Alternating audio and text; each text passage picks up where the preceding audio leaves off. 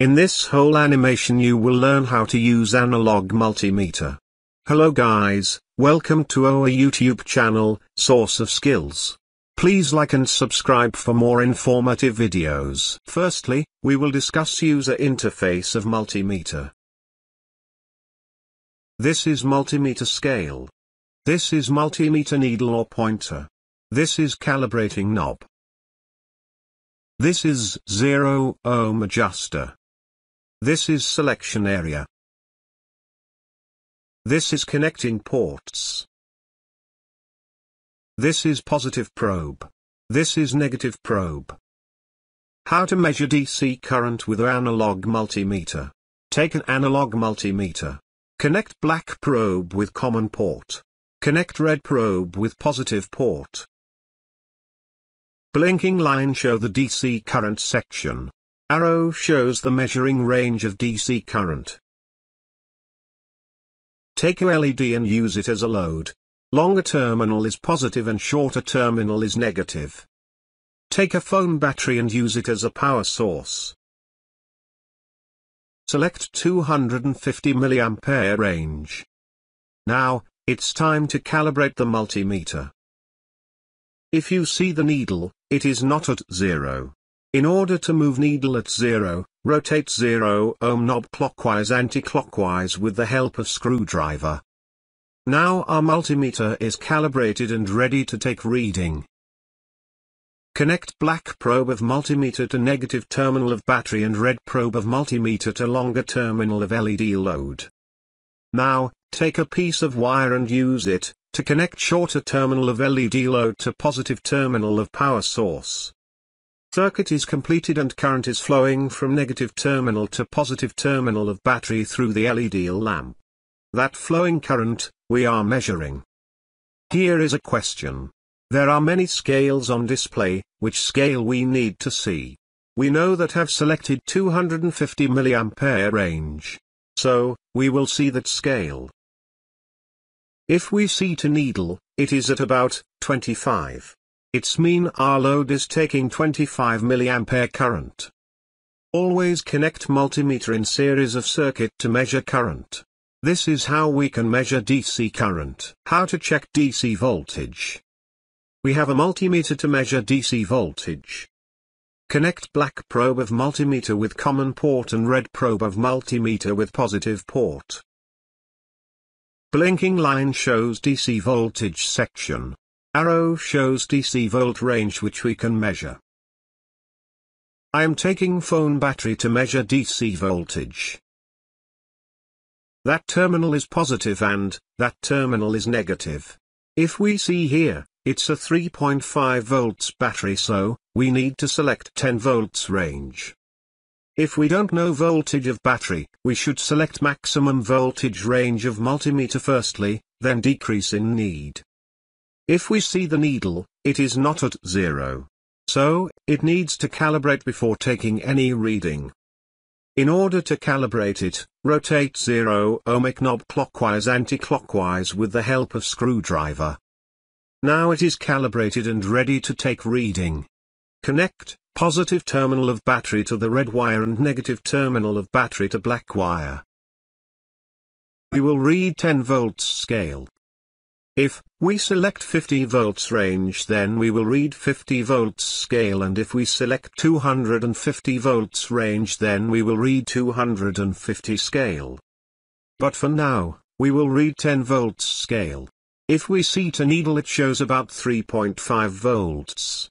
This is how we can measure DC voltage. How we can measure AC voltage with the help of analog multimeter.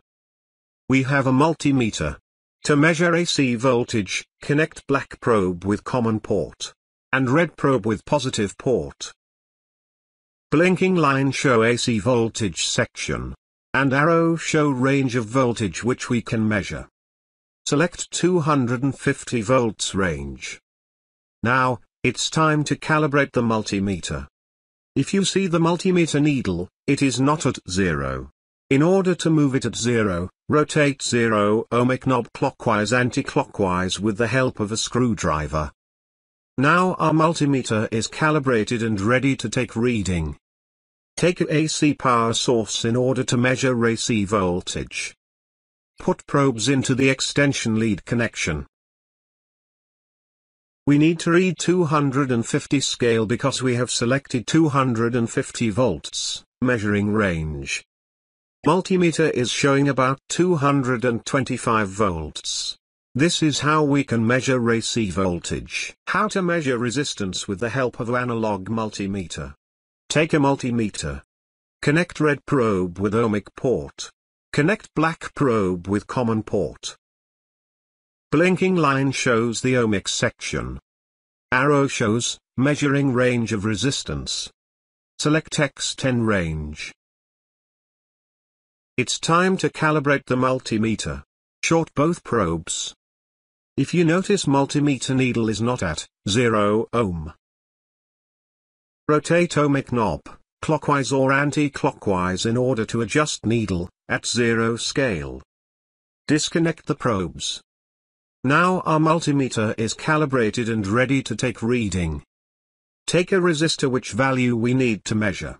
Connect probes to resistor. If you found no movement or little deflection in needle, it means our selected range is less and resistor has greater value. Disconnect the resistor. Now, I am selecting X100 range. Short both probes again, in order to calibrate it. Rotate ohmic knob, clockwise or anti-clockwise in order to adjust needle, at zero scale. Disconnect the probes. Reconnect the resistor again. If you see the arrow, it is pointing out ohm symbol. So, we need to read that scale. Needle is, at 5. Note down, 5 separately and see which range, we have selected.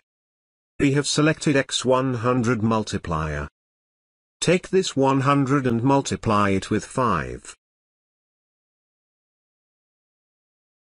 We have 500 ohm value. This is how we can measure resistance. How to check continuity, with the help of analog multimeter. This is analog multimeter, to check continuity of electrical switch, connect, black probe with common port and red probe, with positive port. Now, I am taking a electrical switch, to test whether it is working or not. In other words, we will check its continuity.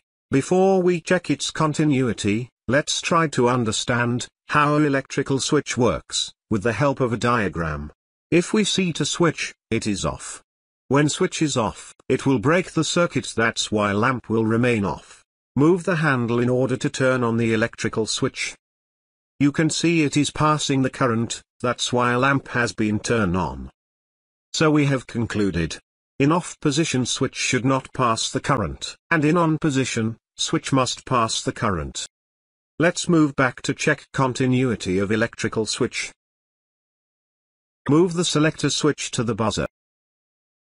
Connect, red probe with one side of the switch and black probe to the other side. Firstly, we are testing off position switch. Multimeter produce no sound, so it is okay in off position. Now, turn on the switch. Multimeter is producing sound, it means switch is also working properly in on position. This is how we can check continuity. Thanks for watching this animation.